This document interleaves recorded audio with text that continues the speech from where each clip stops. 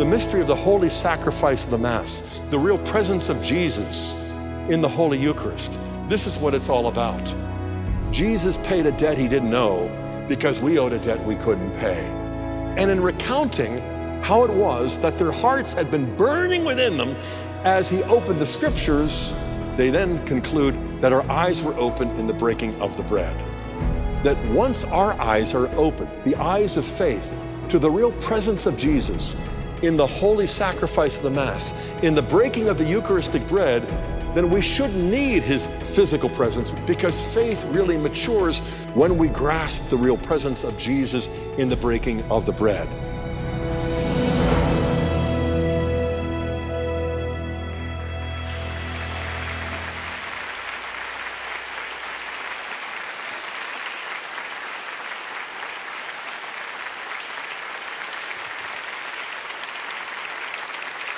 Thank you very much.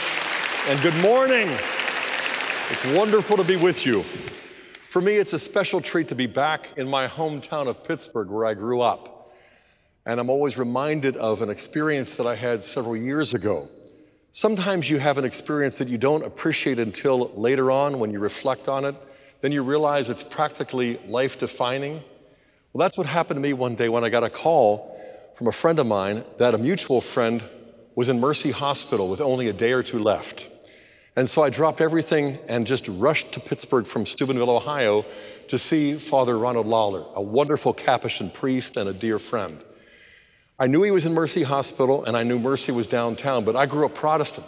So I knew right where Presbyterian Hospital was, but not where the Daughters of Mercy had tucked away their fine institution. And so when I got downtown, I got real close and I knew that, but I couldn't find it. So after driving around the block two or three times, I finally did something that many men seem to have trouble doing. I pulled over, rolled down the window, and I asked for directions. Well, I clearly asked the wrong fellow because he started chuckling. And I'm like, what's so funny? He said, You're practically there. I said, I realize that, but I can't just find it. He said, Well, look, just turn down pride and you'll find mercy. And he walked away. And I'm thinking, that's the last time I asked for directions until I looked straight ahead and the street sign read Pride Avenue. And so when I turned down Pride, I found Mercy Hospital staring me in the face. I couldn't wait to tell Father Ronald. He chuckled too. He said, That's the story of my life. I had to agree it's become the story of my life too, turning down pride in order to find mercy. It's also a reminder to me of my favorite story in sacred scripture. If you have a Bible, turn with me to the Gospel of Luke, chapter 24. If you didn't bring a Bible, just look on with the Protestant friends you invited to come along with you. But I think we all know this story pretty well, so it doesn't matter if you have a Bible to follow along with or not, because it's the story of Clopas and his companion who are walking on the road that leads from Jerusalem to Emmaus.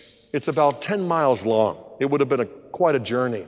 At the beginning of the journey, as you recall, an apparent stranger meets up with them, or at least they mistook him for a stranger because the reader knows it's the resurrected Lord, but Clopas and his companion, for whatever reason, they don't recognize him. And so he asks them what they're talking about. And they turn to him and say, Are you the only visitor in Jerusalem who doesn't know the things that have happened in these days? What things? He asks concerning Jesus of Nazareth, a prophet mighty in deed and word before God and all the people, and how our chief priests and rulers delivered him up to be condemned to death, crucifying him. But we had hoped that he was the one to redeem Israel. Yes, and besides all this, it is now the third day since this happened. Moreover, some women of our company amazed us. They were at the tomb early in the morning. They didn't find his body. They came back saying that they had seen a vision of angels who said that he was alive. And they go on and on and on, and he just let them. I mean, at any point, he could have said, Time out, take a closer look, it's me, but he doesn't. And you gotta wonder why. You know, and then when they're finally finished, you'd kind of expect him to say, you know, buck up, it's not as bad as you think, you know, and offer them some words of hope, comfort, consolation. But instead, when they're done, he turns them and it almost sounds like he turns on them. He says to them in verse 25, O foolish men and slow of heart to believe all that the prophets have spoken, was it not necessary that the Christ should suffer these things and then enter into his glory. And beginning with Moses and all of the prophets, he interpreted them in all the scriptures the things concerning himself, mile after mile, for hours and hours, the single greatest Bible study in all of history, and there was no recording equipment. You know, what a shame. But we know what happens next because they arrived at the village of Emmaus. He looked to be going on, and so they persuaded him to stay with them, at least for a meal, and then they gather at a table. And that's where something happens. And actually, four things happen because we read what he does at the table. He takes, he blesses, he breaks, and he gives them this bread. We also recall exactly what happened. Suddenly, their eyes are opened, and just as suddenly, he disappears. And they finally turn to each other and admit, Did not our heart burn within us as we walked with him, as he opened up the scriptures? And so they got up from the table and they walked all the way back to Jerusalem. They found the disciples and they reported their experience. And in recounting how it was that their hearts had been burning within them as he opened the scriptures, they then conclude that our eyes were open in the breaking of the bread. Now, we might think it was a flashback. He takes, blesses, breaks, and gives. It's the same sequence of verbs in Luke 24 that you find two chapters earlier in Luke 22 in the upper room on Holy Thursday when he institutes the Eucharist. But they weren't numbered among the 12, so this wasn't a deja vu or a flashback. This was a eureka moment, a supernatural grace when suddenly, through the breaking of the bread, their eyes are opened.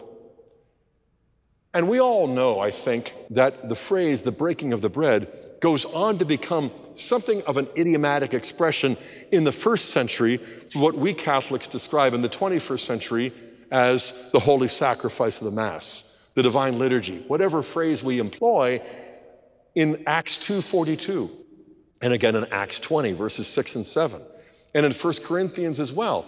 Again and again, we hear the breaking of the bread referring to what? The Holy Eucharist. And so, as we think about this long journey with an apparent stranger who's opening up the scriptures, causing them, you might call it spiritual heartburn, if you will, but never once illuminating his own identity until that moment when they see him in the breaking of the bread, and just as suddenly he disappears. What I want to explain is going to lead us to the conclusion that once our eyes are open, the eyes of faith, to the real presence of Jesus in the holy sacrifice of the Mass, in the breaking of the Eucharistic bread, then we shouldn't need his physical presence. We shouldn't need the visible sign of his own resurrected body. If anything, our Lord knew that if he had remained, it might have become an impediment to faith maturing because faith really matures when we grasp the real presence of Jesus in the breaking of the bread.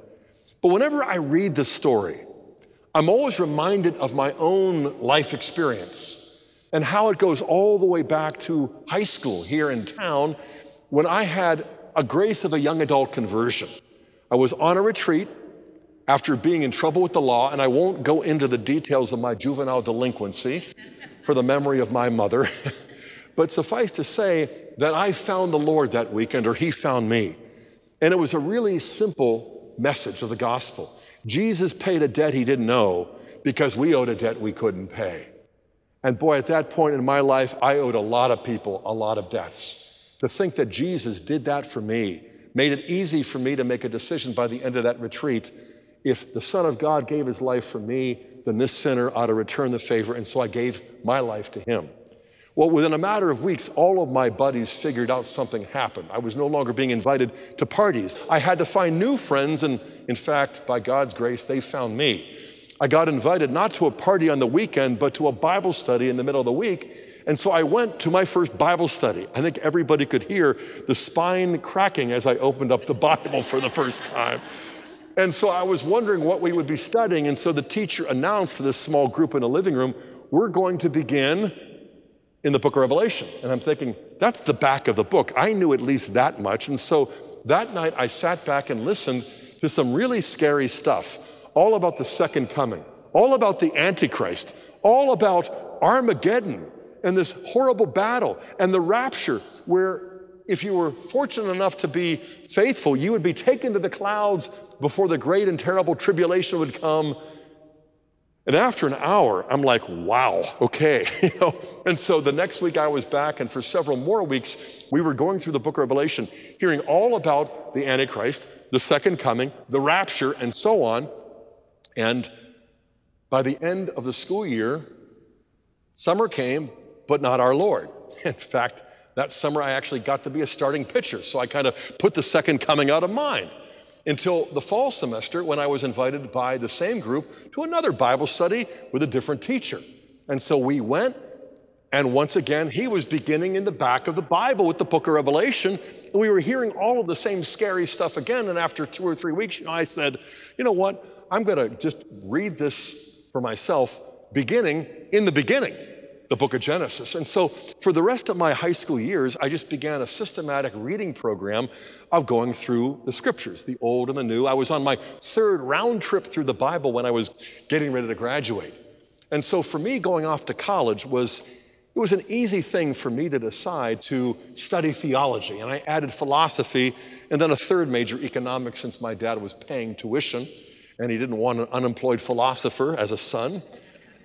But I remember having a dream come true. A, a, prayer was answered because I got to study Greek. And after going into an accelerated program, I began to read the New Testament in the original Greek. And that was exciting. And so for the final semester, we had a project. We didn't know what it was. So we went into the accelerated program final semester. And I was thinking, okay, we're going to have a major translation project. And so I went there the first day of class thinking three or four of my classmates would be there. I was the only one. They'd all bailed. And so the teacher says, We're going to translate the book of Revelation.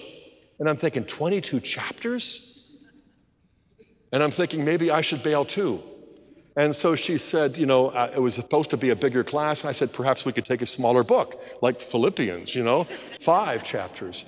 She said, no, we're going to tackle the apocalypse. And so systematically, we began working through the book of Revelation, or rather, I did. It's some of the hardest Greek you will find in antiquity. It took me an entire semester to get through 22 chapters, but by the time I was done, I was startled to find out that the word rapture doesn't occur a single time, nor does the term antichrist, nor does the phrase second coming. In fact, the Battle of Armageddon is mentioned, but only once near the end. So by the time I was wrapping up my study of the apocalypse, I was wondering why we were wasting all of that time back in high school worrying about all kinds of things that aren't even mentioned in the book.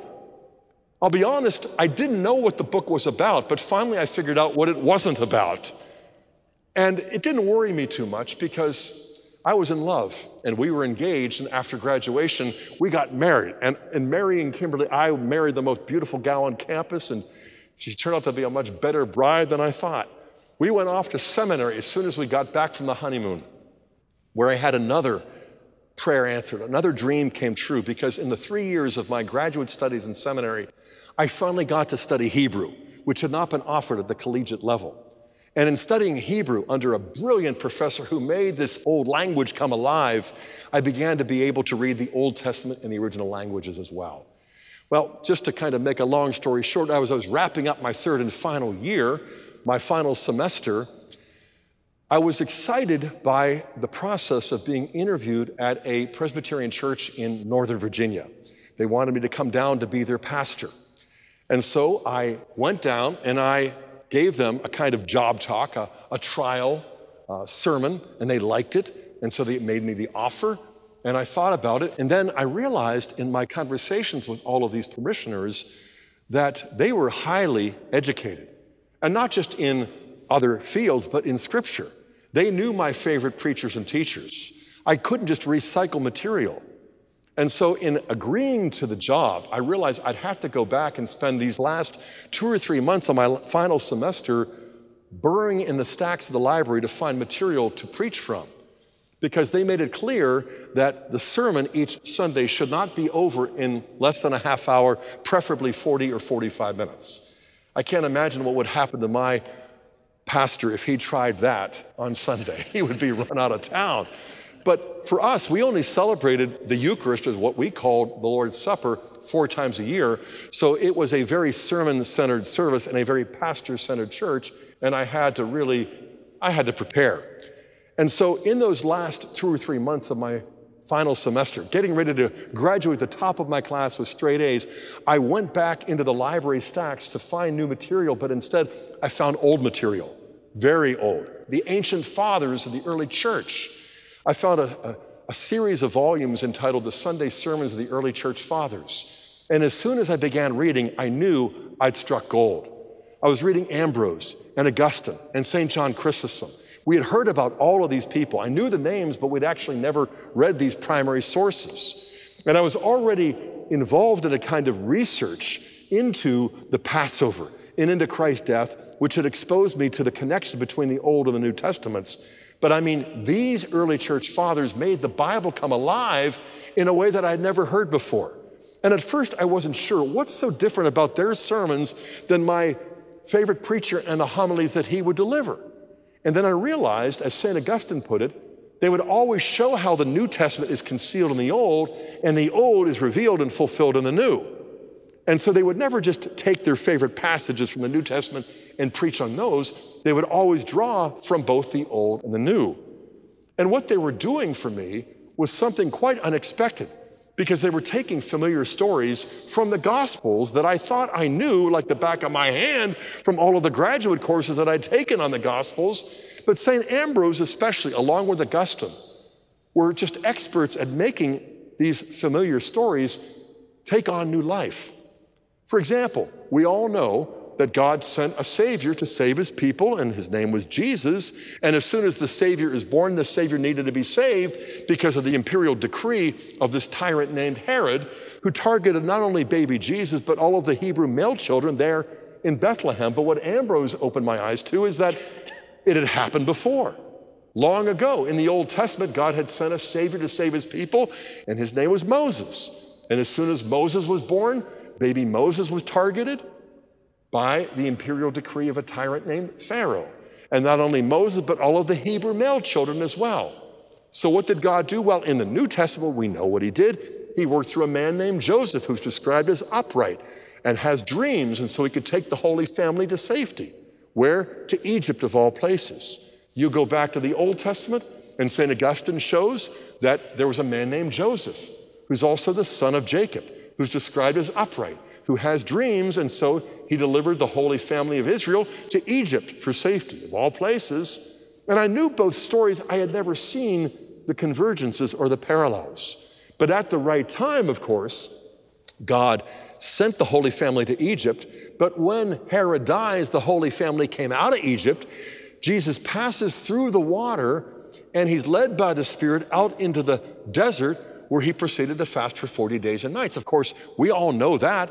But what I had never noticed before was that when Moses is empowered by the Spirit to lead Israel out of Egypt, they pass through the water as well, and they're led by the Spirit out to the desert where Moses fasted for 40 days and 40 nights, at the end of which time he receives the law of the covenant.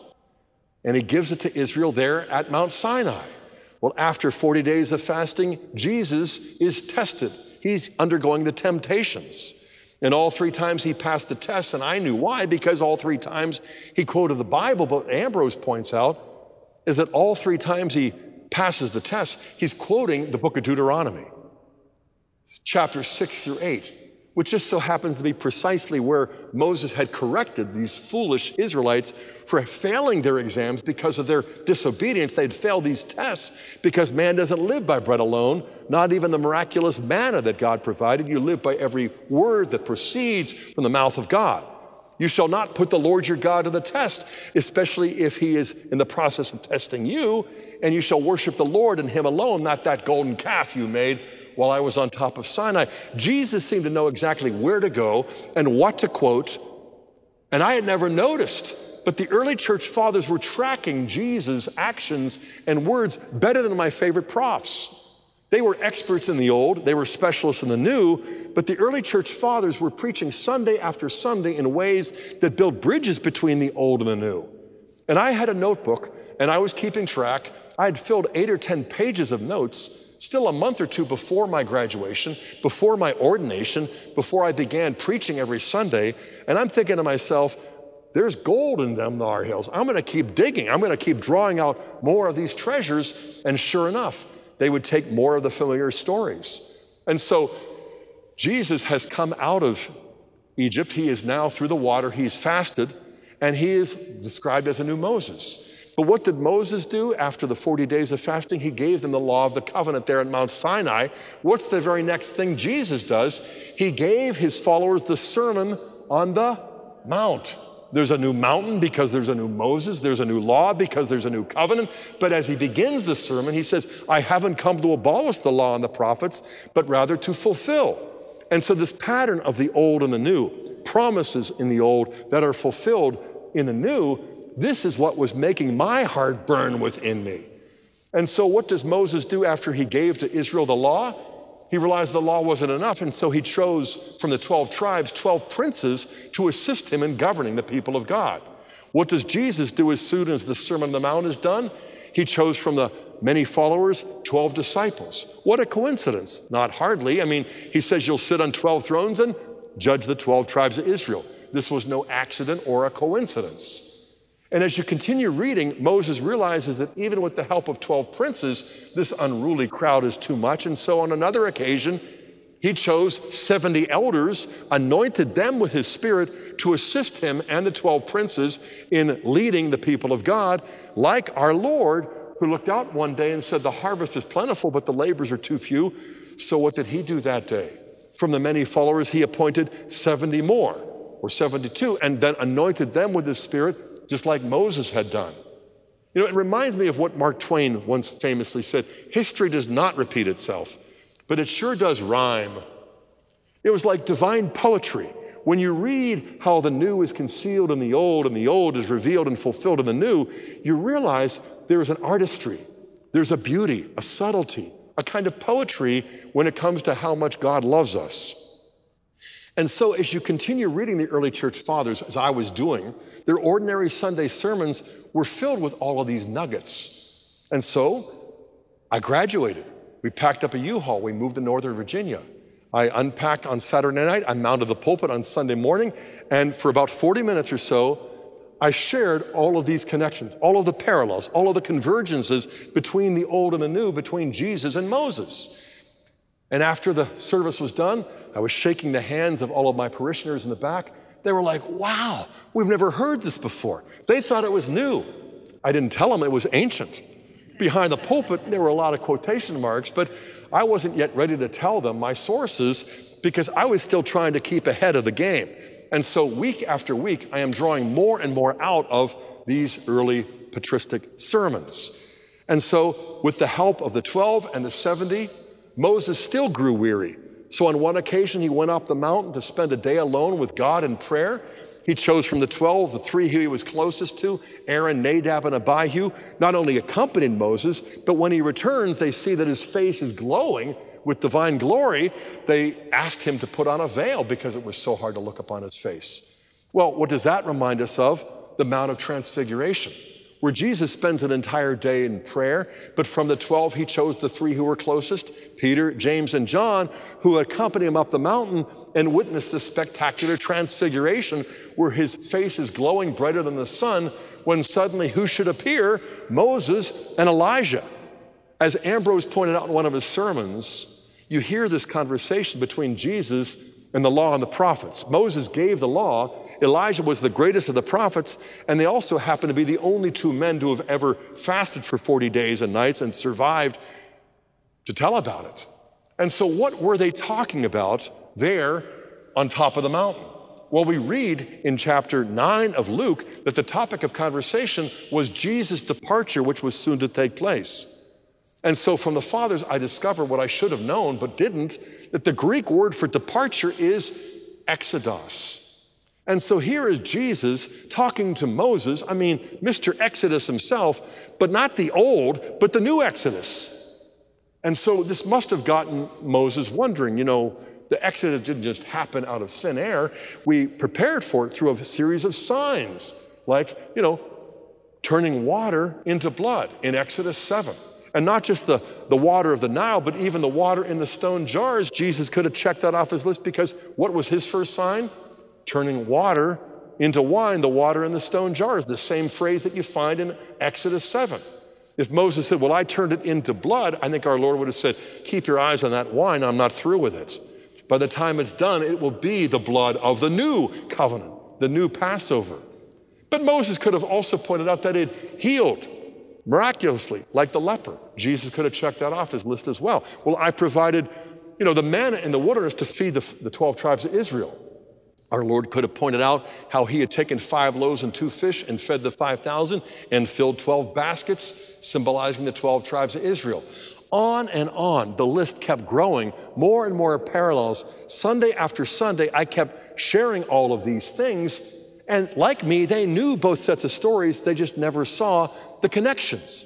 And the more I was helping them make connections between the old and the new, the more both the old and the new were coming alive for them, but also for me. So I'm still trying to stay ahead of the game. And so this is where my study of Jesus as the new Moses, bringing a new law, the new covenant, you know, eh, the Passover was looming larger and larger. And so I began to realize that this is really where it all comes to a head. The culminating point of how the old is fulfilled by the new, well, the culminating point for Moses at the Exodus was the Passover. And so the new Moses, a new Exodus, will bring about a new Passover. And so I began to discover the Eucharist, what we call the Lord's Supper, and how in the early church they celebrated it not just once a year like Passover, but every week, not four times a year. And so I began to propose to my church that we ought to celebrate it more frequently as well. So, on a trial basis, we began to make each service less sermon centered and make the Eucharist the culminating point.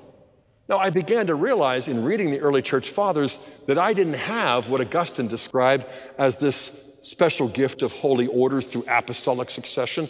So I began to wonder if I wasn't really playing church, you know, pretending to confect the Eucharist when I didn't really have what you find in the Bible or what you find in the fathers.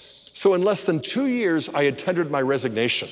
And that's when I went in search of a church that would fit this job description that I kept finding in the Bible, but only when you read the old and the new in this sense of harmony or typology, which is how the Catechism describes this pattern of the new concealed in the old and the old revealed in the new, to quote from St. Augustine. After resigning from my pastorate, we moved back to the college town where we had first met and fell in love. At this point, Kimberly and I had our firstborn son named Michael. And so while she was tending our baby boy, I was also studying at night. I was working at the college as the assistant to the president, but at night I was doing more and more research, reading now the early church fathers, but reading now for the first time Catholic writers, names that I should have known, but I never read.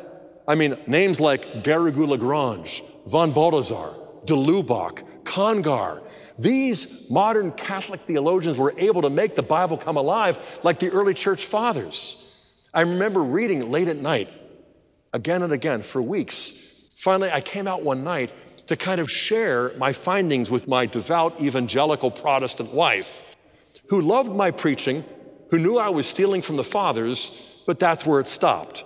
And so I came out and I began to read, not from the early church fathers, but from a Catholic writer named Louis Bouyer.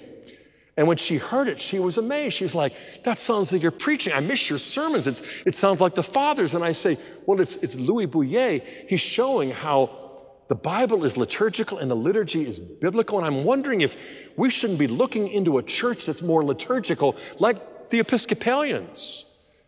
And her eyes got wide as saucers. And she said, Episcopalian, need I remind you, I was born and raised a Presbyterian. My dad's a Presbyterian minister. My uncle is too. My brothers are. You're still a Presbyterian. I'd never seen her burst into tears. She's like, I don't want to be Episcopalian. I'm like, okay, fine. We won't be, okay? And so I, won't, I went back into my study and I heard her say, please don't do that again. All right. And so I didn't for about three months. And about three months later, I would remember this because I was reading through the documents of Vatican II for the first time in my life, realizing that I had struck gold again. And so I was working through the Constitution on the Church, Lumen Gentium, and I came out, I'm like, you got to hear this. And I began reading it. And she got excited. She said, That's beautiful. What is that? I said, You guess. I thought we weren't going to do this anymore. Come on, you, get, you got your master's in theology like me, girl. Come on. And she said, I have no idea, but I'm sure you'll tell me. And I said, This is the teaching of the Catholic Church in the Second Vatican Council. I said, I'm wondering if God isn't asking me to be open to the possibility of becoming a Catholic. And her eyes got wide as saucers. And she said, Couldn't we be Episcopalians? and I knew we were going into you know, uncharted waters, shall we say.